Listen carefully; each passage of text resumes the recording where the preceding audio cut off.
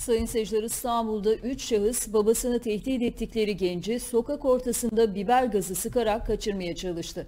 Genci vatandaşlar son anda kurtardı.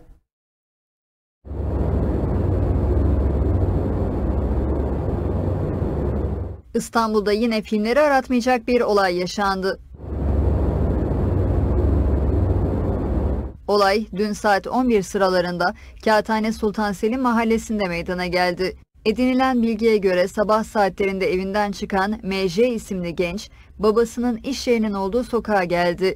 Burada bir süre yürüyen genci arkasında takip eden bir kişi yüzüne biber gazı sıkarak etkisiz hale getirmeye çalıştı.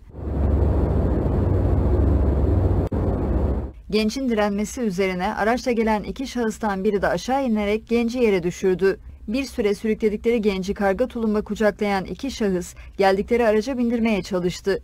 O esnada sesleri duyan çevre esnaf ve vatandaşlar şahıslara müdahale etti.